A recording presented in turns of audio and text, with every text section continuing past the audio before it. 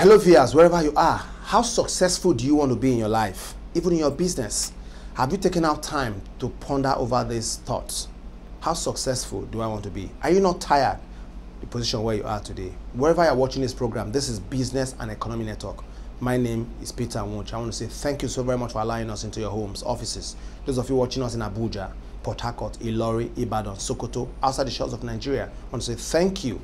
Well, we have reputable CEOs on the block today who we, we brought together to inspire you and more importantly, for you to look inward into yourself and see that you have those God-given potentials to be a success, just like these people want to showcase today. It's going to be an interesting watch, inspiring, incisive, and very educative. Please don't touch dial. I'll be back after this time out.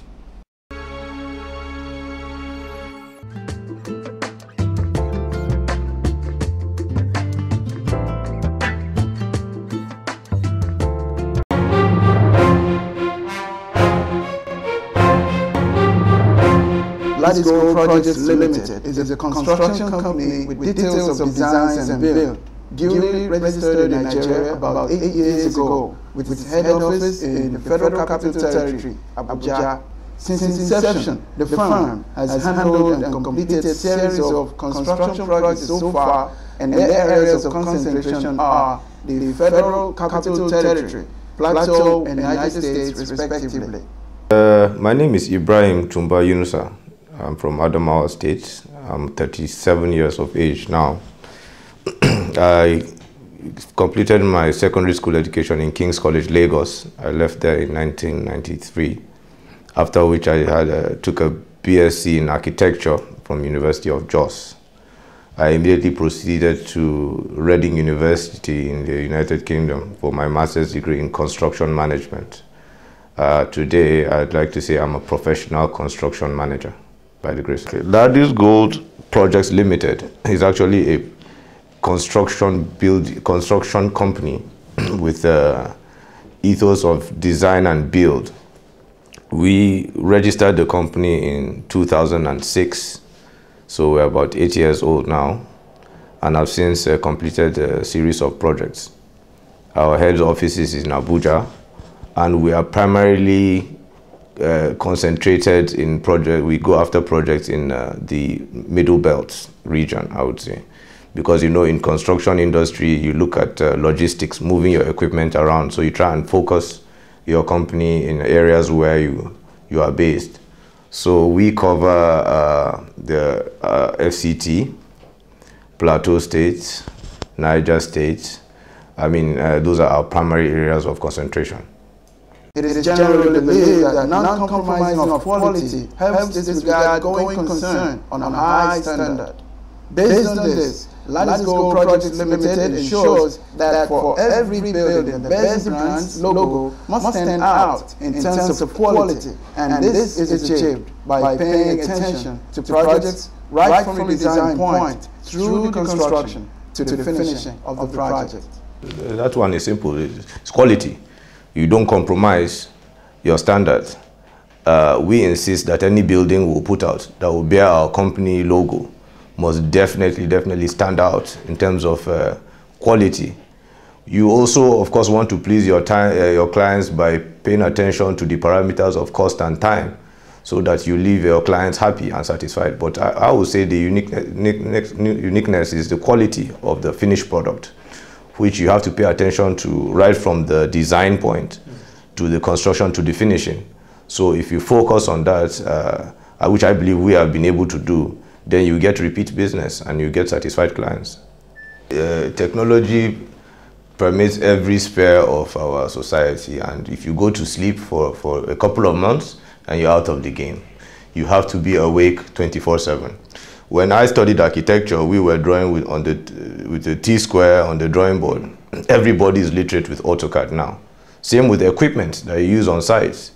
So as a construction company, we try to stay abreast of the latest technologies available for our business. Uh, the days of uh, having to take a, a, tape rule and physically measure are done. We have laser measurement measurers for that now. You have to have things like that. Speaking of technology, this is one of the new technologies that Ladis Gold has just uh, imported from the US. Uh, we are going to be building houses very soon with these panels. These are honeycomb panels. this is actually the wall of the building. This is the core. And then these boards, which provide make the sandwich, uh, complete it. And, and this very soon, I'm telling you that we're bringing this product into the market and we're going to be building houses.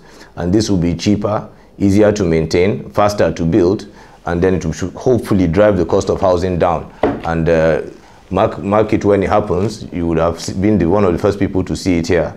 So it's an expose I'm giving you. so, so, technology, uh, to answer your question, is part of our uh, company uh, motto, is to keep abreast with technology. As long as you're not ready to to, to equip yourself and move with them, you might as well go out of business if you're not going to place. I'm, I'm very passionate about that. And uh, one of the managers of one of our, uh, of the shopping mall in, in Jos was recently awarded, I think the National Association of uh, Stud Students in Unijos gave him a, a, an award for being one of the best employers of labor uh, in the state. That's because of the number of uh, Unijos graduates that we're employing to work because after construction, what we do provide is facility management uh, services, which we engage a lot of uh, young people.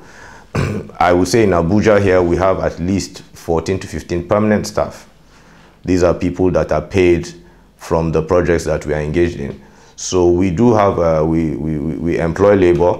We also participate in the student training program. So every year I get sent uh, a number of uh, students from various polytechnics and universities for training. And uh, uh, I think uh, it's only this year we've not had a, a, corper here. I don't know why nobody came, but for the last three years we've had corpers here. So I, I do aim to give back to my community. In architecture, we're taught that even the feeling of looking at your building every day is part of what the environment has to live with. So if you go and put a very ugly thing up for people to be looking at every day or depressing them. But yes, that is true. Apart from the beautifying the environment, we really in this company want to go beyond that to make sure we're contributing our quota for national growth. And I think we're doing that. In Nigeria, and especially the built industry, several challenges are faced by firms operating within the sector, of which LadisGold Project Limited is one. The firm is posed with various challenges when executing projects. Every construction project is, is challenging, but I would say I would single out when we built uh, now defunct Oceanic Bank branch in uh, Nasarawa State. That was very challenging because uh, the corporate body, you know, they, when they say 12 weeks, they mean 12 weeks. They are not a uh, government where you want to look for loopholes and so that project was very challenging because they, they kept to time, they insisted on quality. And the fact that we were able to deliver and please them, being very demanding clients, that was one of the most challenging projects I was engaged in and one of the most satisfying actually. Uh, I also single the shopping mall in Jos that bears the name of our company, Ladis Gold Shopping Mall, located in Jos City. Uh, the most, uh, the, the, the most challenging part of it, if I can use that word, is that my own personal funds were tied in the project. You know, it's different when you are playing games with people's uh, finances. When you yourself are involved and you become a developer, then uh, you know that you can't give yourself excuses. And the project was done under duress, I would say, because uh, during the time when we started the, the, the building was when there was this kind of a crisis in Jos City. So managing that whole process and managing construction under those environments was, was very challenging. But I'm, I'm happy to say today the mall is standing and I have been told it is one of the most remarkable uh, buildings in Jos City. Yeah.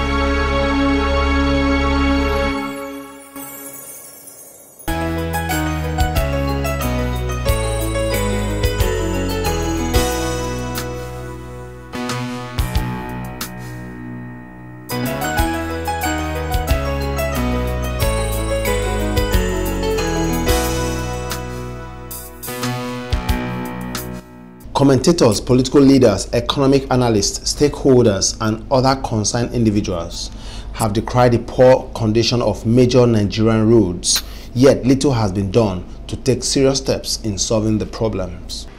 Well, definitely I am not satisfied, and uh, I'm sure most people are not satisfied.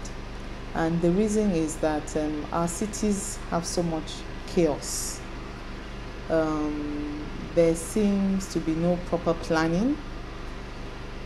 There's abuse everywhere of the environment, and um, we do not feel happy that we have to work in this kind of condition. Sometimes you wonder why are new areas turning out the way they're turning out? Why are things not properly planned as they should be? However, we have our limitations. Government has to put in place proper planning procedures which must not be flouted. We see them being flouted every day. We don't have control of this. But we believe that if government would sit up to its responsibility in this